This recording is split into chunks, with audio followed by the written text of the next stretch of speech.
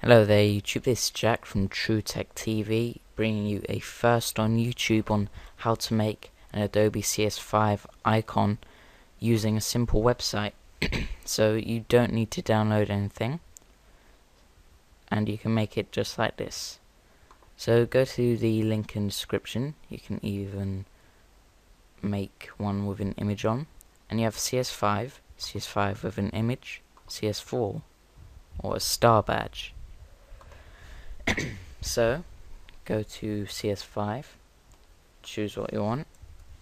GT you can do anything you want to Tech TV you can choose your background color and your text color. So if I have mine as black. And then choose a nice red color. Like that and it gives you one, two, three, four icons in a pack. You click save icons and it will save as a zip. And what you do is you go where it's saved and right click, go to extract here and I will put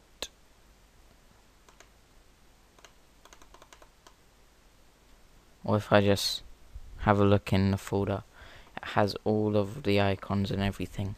But so yeah so that's it. So thanks for watching. Please subscribe rate and comment and I'll see you all next time